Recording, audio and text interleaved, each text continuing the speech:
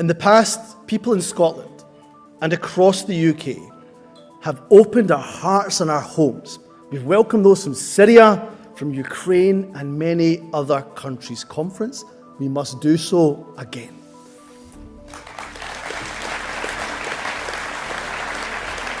There are currently 1 million people displaced within Gaza. So, therefore, I'm calling today on the international community to commit to a worldwide refugee program for the people of Gaza.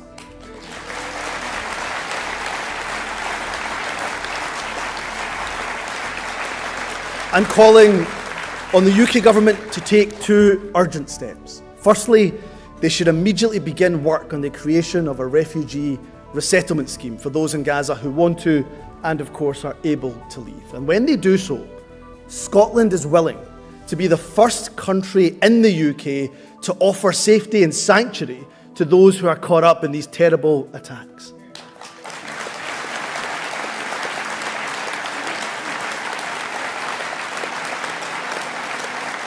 Conference, my brother in law is a doctor in Gaza.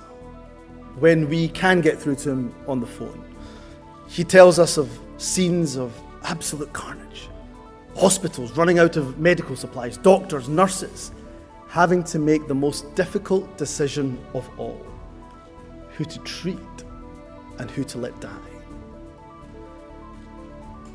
That can't be allowed. Not in this day and age.